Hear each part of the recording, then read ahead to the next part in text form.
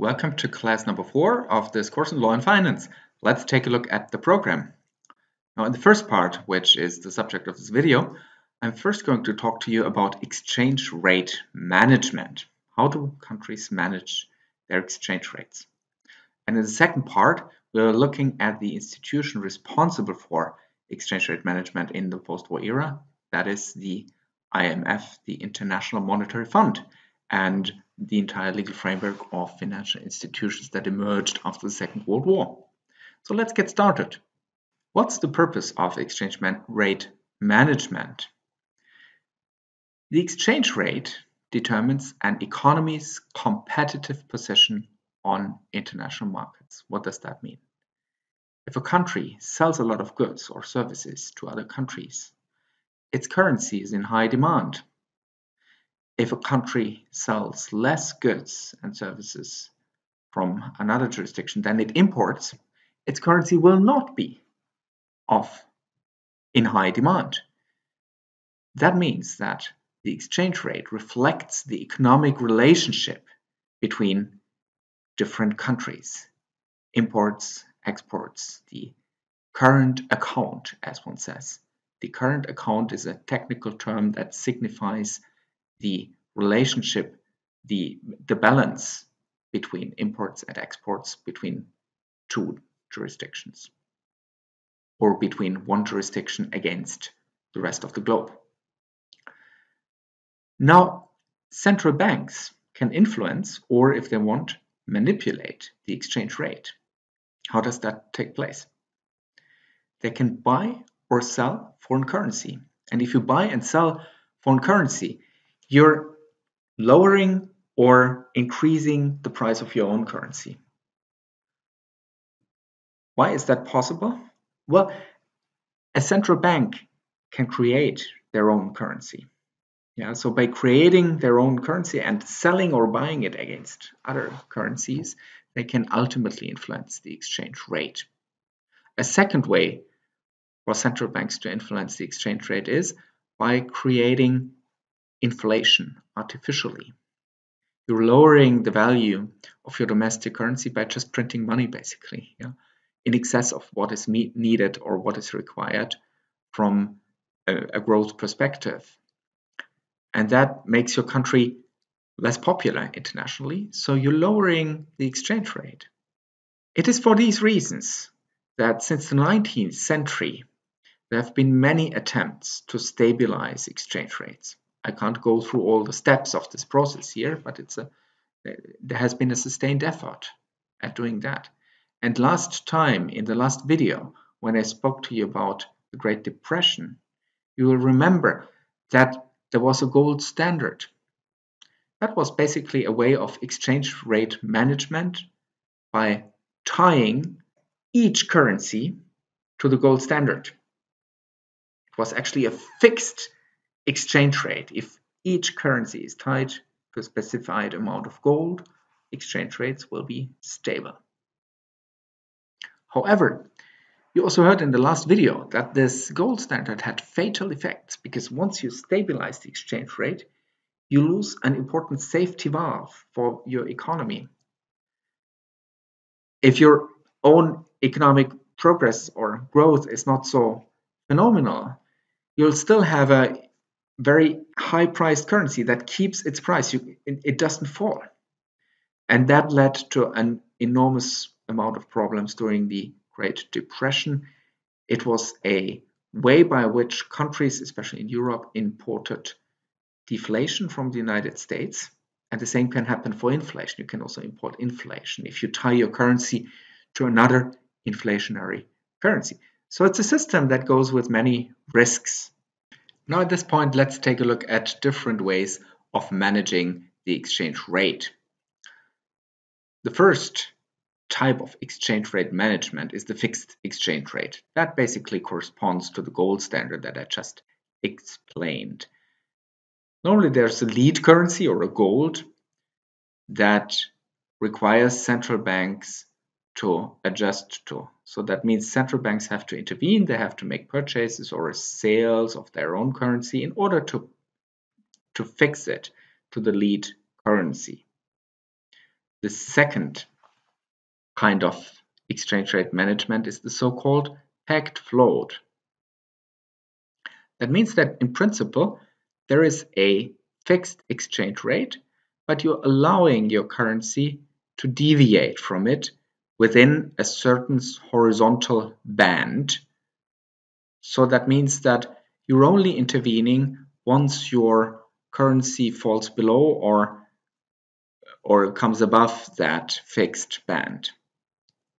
The third kind of exchange rate management is even more flexible. It works like the second, with the only difference that there is a peg that can be adjusted. So that means that from time to time you're changing the band. You can push it up a little bit or lower it depending on the overall development of your current account. The fourth type of exchange rate management is the so-called managed float or dirty float. In principle, you don't really have any commitment to a specific rate or a specific band or a peg or a specific band, but central banks intervene as they like. A discretionary system. And the last type of exchange rate management is basically do nothing.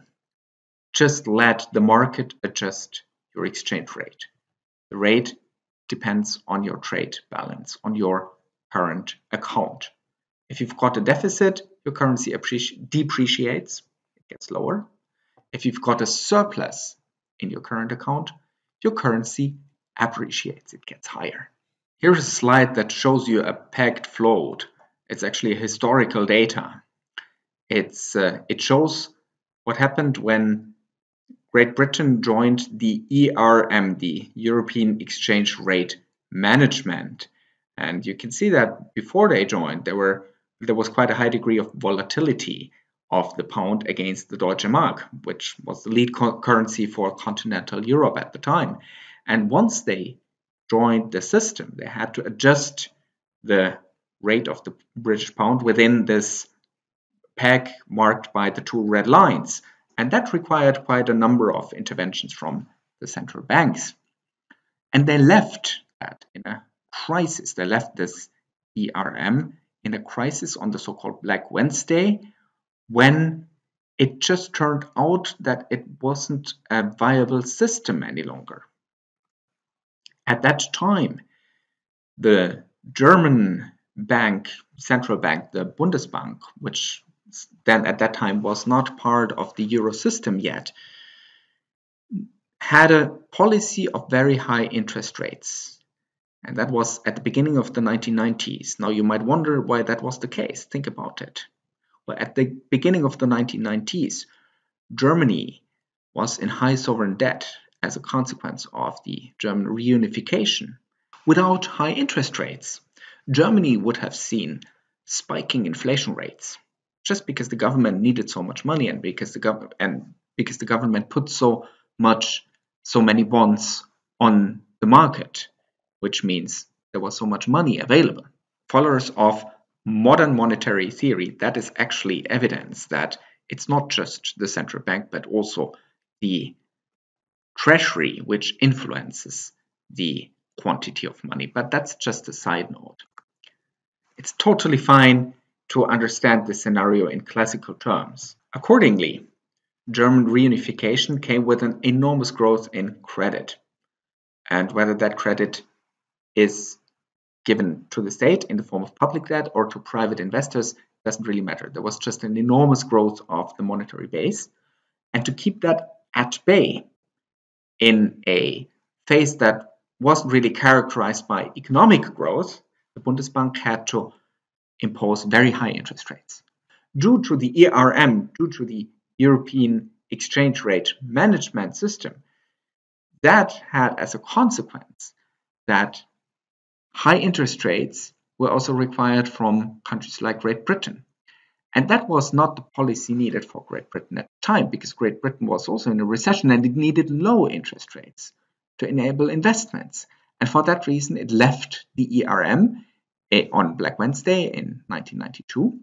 And you see that its rate collapsed against the mark at that point. So that shows really the vices and virtues of exchange rate management. On the one hand, it allows for stable economic relationships. The exchange rate doesn't pose a risk if you want to do transactions. And it reduces or eliminates the risk of currency manipulations, countries wanting to get a unfair advantage over others by you know buying or selling their currency. On the other hand, it cannot really work unless you adjust business cycles. That means unless you've got fairly parallel boom periods and recessionary periods. If you don't have that, at some point things develop in different directions and then one side wins enormously from this from this exchange management while the other side loses. By the way, this is exactly what happened in the Eurozone crisis. We'll see that later in class number 8. Now let's take a look at the system of exchange rate management put in place after the Second World War. You see the two gentlemen here who played crucial roles. Do you recognize them? Well, the one on the right is more well known, that's John Maynard Keynes, and on the left is Harry White, the American head of delegation at the Bretton Woods conference, which came up with this idea. What's the background? The Bretton Woods system was established as against two experiences. First, the Great Depression, the experience of deflation, capital flight, and protectionism. They thought that they couldn't go back to the gold standard like nothing had happened. And the second experience was the war and the state of war economies. They needed financial conditions that were stable to allow for the necessary economic recovery. And it's these two experiences that really framed the objectives of the Bretton Woods system. On the one hand, it should guarantee stable exchange rates to prevent currency manipulations, support business, and provide a stable foundation for growth. On the other hand, they wanted to avoid the destructive potential of the gold standard. So they knew that they would have to set up a more flexible system involving some safety valves. Now let's look at the institutions they came up with. The most important one from a currency perspective is certainly the International Monetary Fund, which provides for a system of stable but adjustable exchange rates. A system of adjustable pegs. We'll take a look at that in a second.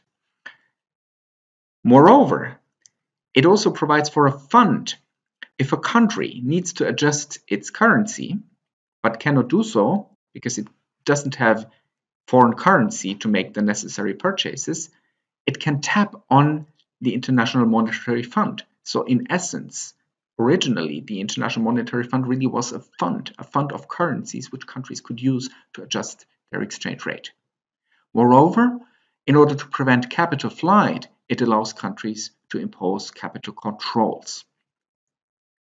The second institutional pillar of the post-war Bretton Woods system was the World Bank or the so-called International Bank for Reconstruction and Development. It later morphed into the World Bank, which has several components, a number of different banks for different purposes. And that system should provide investments, money needed for the post-war recovery for economic development. The third pillar concerned trade. They thought that one should also act against the protectionism of the interwar years. And for that purpose, they came up with the GATT, with the General Agreement on Tariffs and Trade. This has the purpose of preventing protectionism by reducing tariffs, by reducing non-tariff barriers. What are non-tariff barriers? Well, there are different kinds. For example, regulation, which is protectionist. Yeah, you just make some product requirements which only your products meet, and the foreign products normally don't meet. Well, that's uh, a relatively obvious trick, and one can prevent that. Or another non-trade barrier are quantitative restrictions. You don't allow more than X number of products in or out of your country.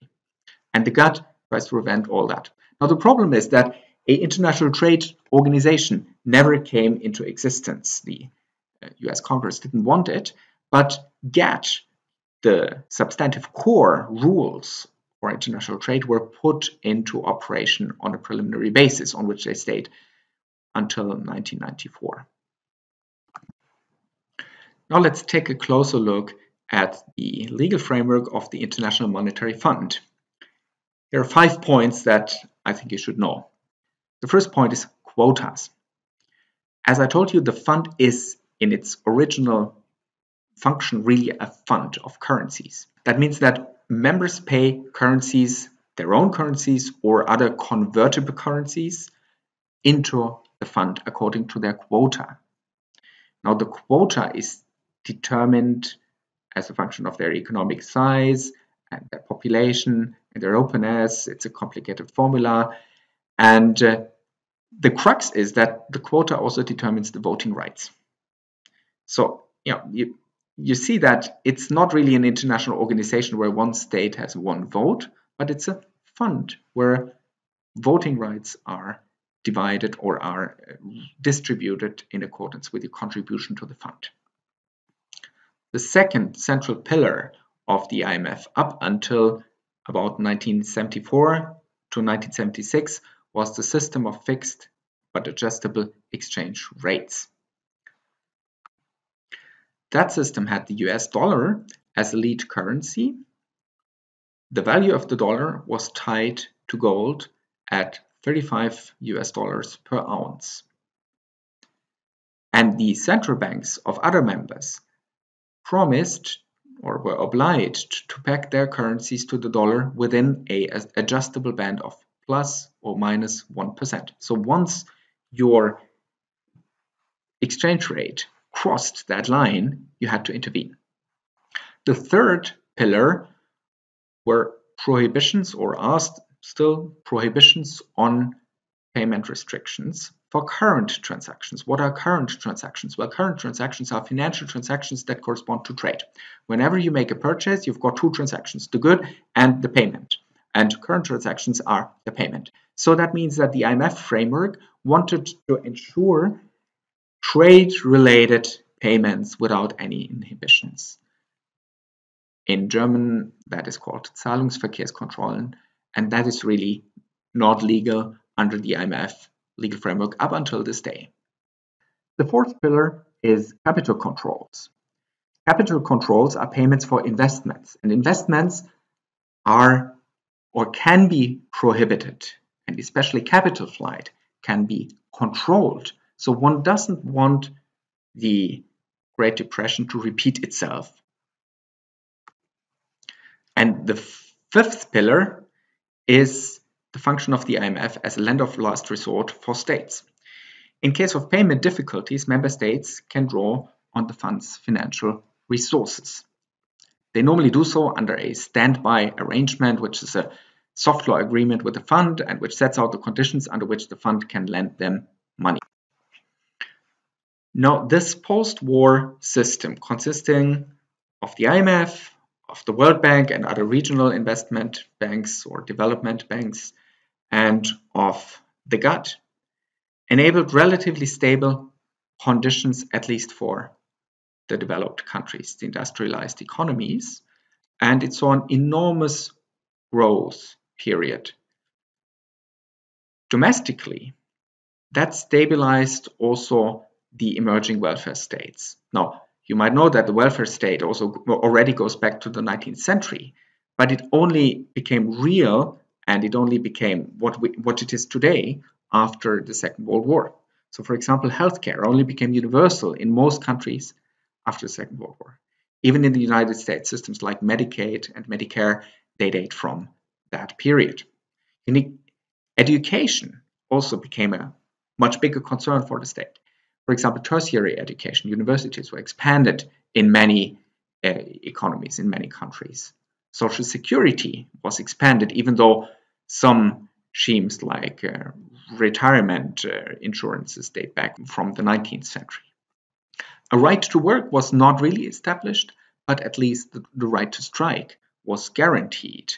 That was necessary in the context of the Cold War, where socialist states wanted to present them as you know, the better uh, version for workers. So the capitalist economies also had to make concessions to workers. And that meant that uh, the right to property was guaranteed, but nationalizations of private property were also a possibility.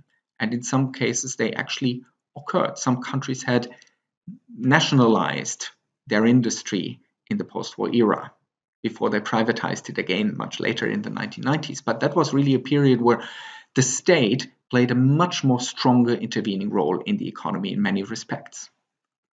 From a financial perspective, it is interesting to note that bank regulation was very strict at that point.